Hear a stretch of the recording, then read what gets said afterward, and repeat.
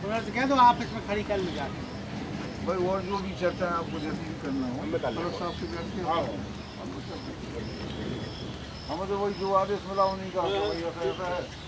तो फिर ने फॉलो कर दिया। और इसके बाद भी कोई अगर वो है अगर आपको लोगों को और कुछ कहना है